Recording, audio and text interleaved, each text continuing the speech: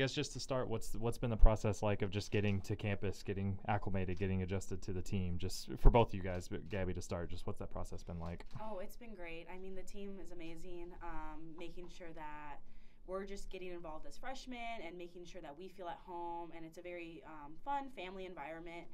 Um, I know it's it's honestly the process has been really simple, really easy. I have felt no issues with getting along with people, getting involved with campus, finding classes. All of that's it's honestly just been great.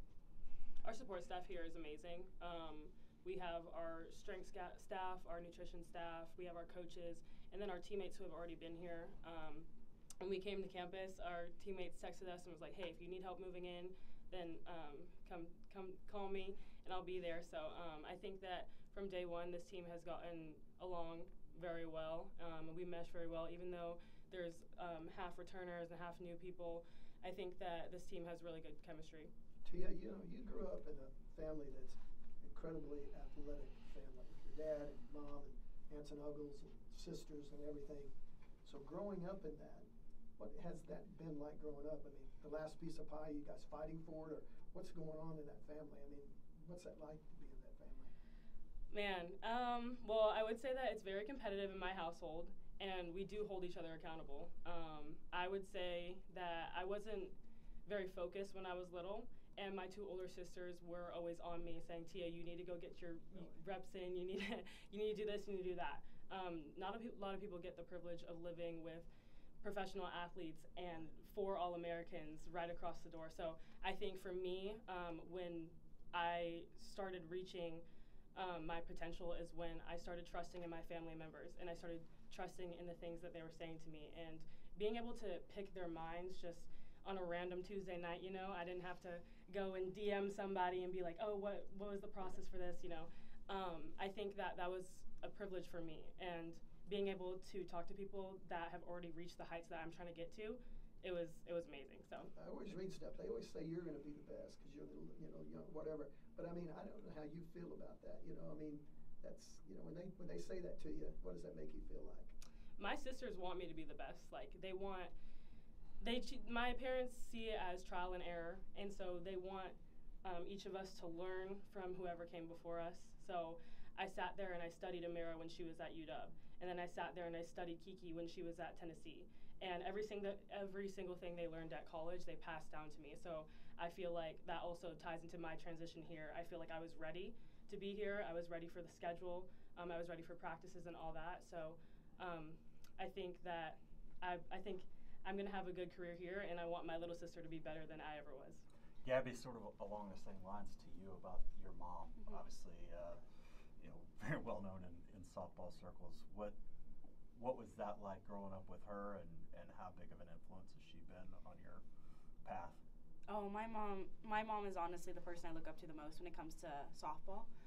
Um, it's just it's crazy being young. She asked me at a young age, "What what do you want out of the game?" And I said, "Well, I want to be I want to be one of the best best players, right?" And from there, she's like, "Okay, do you understand what it takes?" And I was like, I mean, I was what eight, nine years old. And I had no idea, and and she goes, "It's gonna take a lot of work." And um, I mean, from there, we set our eyes on a goal, and just working as hard as we can. I remember there was many nights of fighting, but um, eventually you get to that age where we ended up rather instead of butting heads, um, working together, and from there I was just able to put my head down and continue to work and to continue to grind, and then.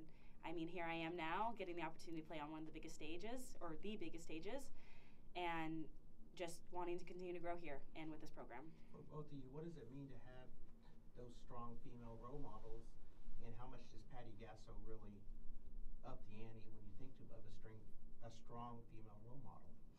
I mean, for me personally, it's just it's just amazing, right? Um, it makes you want to strive to be that strong female role model for the generation below us. I mean, that's how it feels for me, at least. Um, and it just makes you want to continue to be better and to be to be and to live the best version of yourself. I would say for me, a non-negotiable um, in my recruiting process is that I really wanted to have a female head coach. So um, my two older sisters, they played for female head coaches, and I know that Coach Gasso really preaches. She wants to take girls and turn us into women. And um, I think that even though we've only been here for three months, we have definitely learned a lot of lessons that I know I'm going to take in um, to my life and maybe pass on to my children. So I think that here it's it's about maturity, and I know that I'm going to grow a lot here. For both of you, what, what do you remember about the first conversations you had with Coach Gasso when she first reached out, and then as you've gotten here, how how's that kind of synced up with Coach Gasso, the recruiter, versus Coach Gasso, now your, your head coach? That Oh, um, honestly, like the first time I had a con- conversation with Coach Gasso, I was super intimidated. I'll be honest. I was like, oh my gosh, this is Coach Gasso. Like, I'm like, gotta say the right thing, gotta act the right way, right?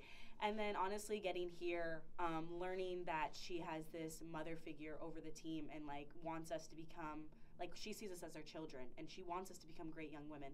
And seeing her sense of humor and seeing her motivation for us and seeing how she doesn't she won't let us stoop under her expectations and rather holding us accountable um, it's it's it's incredible it's it's awesome Um, my first impression of Coach Gasso is that she's very straightforward, and that is the type of coaching that I personally strive under. Um, I don't really like passive coaching. I feel like I would just rather you hold me to a high um, expectation and hold me accountable, and I think that's where I grow best. So I knew that um, me and Coach o- Coach Gasso would get along very well because I feel like I'm the same way. I'm pretty straightforward. Um, but yeah, it's been exactly the same um, since I've gotten here, and same thing. Like Coach Gasso's just really been holding us accountable, um, pushing us hard. But that's what it takes to win.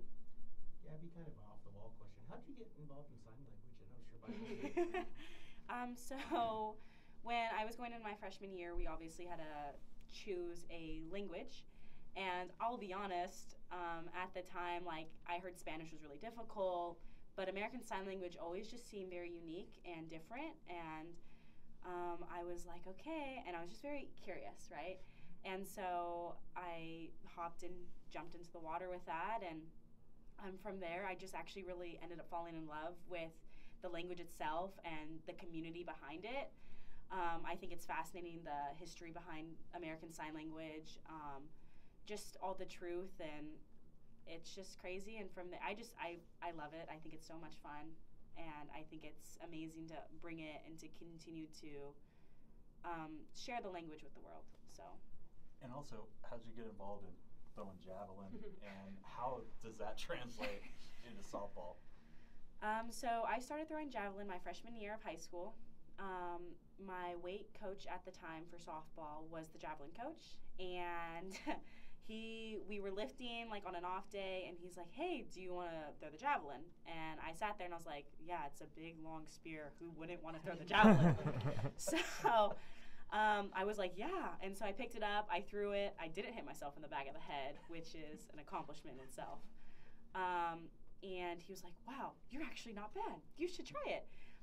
And so then season rolls around, and at that time I was managing both javelin and softball. And as by the end of the season, I actually was throwing really unexpected, really big numbers. And then from there, I just kind of continued on. So, yeah, kind of fun. For both of you, what's it been like getting to work with Tiare Jennings this fall? Yeah. Um, I know in my recruiting process that Coach Gasso um, compared me and Tiare's play um, a lot. She would always say, like, you guys are kind of similar names. We were, at the time, we were the same position. I played middle infield. Um, we're kind of built the same and stuff like that. Um, so I was really excited to work with Tiari, especially because of her career here. I knew that she, she had a lot of knowledge. Um, I think that it's been cool to watch her step into kind of a coaching role. And I think that it was easy for her because she was such a good leader um, in the past years as a player. And so now she's developed into more of a coaching role. And just seeing her work with like the middle infielders and stuff, I can always um, see her holding the middle infielders accountable and then just giving them advice that um, is picked up the next play. Like Gabbie and all of our um, middle infielders are very coachable. And seeing them get to work with Tiare is pretty special because that we have one of the best um, in the nation as our coach. So it's being passed on, and this is how like our next team is going to be great because we we have generations teaching the next generation. I mean, like like Tia said, she was a leader coming off, and now coming into that that role of being a coach here. And I know personally for me, like I see her as a big sister, right? Someone I can go to when I'm kind of confused, or when things start moving a little fast, or when I'm not, when coach says one thing and you're like, what does that mean? And I know I can go to her and she'll explain it to me and break it down. Um, I mean, it's phenomenal. She's a great person. Um, I know she used to play for my old club team, so I used to see her a little bit here and there, and still to come here and continue to learn from her, I'm just, it's awesome. She's a great, great person. For you both, since committing and signing, what's it been like to see the past teams continue to roll like they have, and then now that you're here, how do you flip it and balance managing those expectations when you have so many new pieces that weren't there last year to to kind of roll through this year? Um, I think the older girls on the team last year who graduated did a really good job in passing on expectations and transitions to the returners this year. And now it's their job to teach us freshmen. Um, even before we started practicing, they were telling us things that we needed to get done, um, what is expected of us. So I think it's been a pretty um, easy transition in that sense. Um, I think that there are people on this team that knew they were going to have to take on leadership roles, especially with 10 seniors leaving last year. Um, so we have Cassidy, we have Ella, um, and they knew that that was expected of them. So they have really grown as people in that way because you know they like Ella is a little introverted, but she's a fierce leader. Like she knows what it takes. Um, like she knows that she had to step into that role for the better of this team. So um, we've just had really good returners, just teaching everybody the way. I mean, yeah, I just we're new, and that's that's the best part about it because it's fun, it's exciting. Um, Coach keeps telling us we're fast, we're scrappy, and I I honestly look forward to it, giving um, I know the fans a different look on a different kind of team, and for me personally, like that's what's so fun about it, right? Giving us the opportunity to continue their legacy in a little different of a way, but at the same time taking the values that they left behind and now that the returners are trying to continue to instill in us.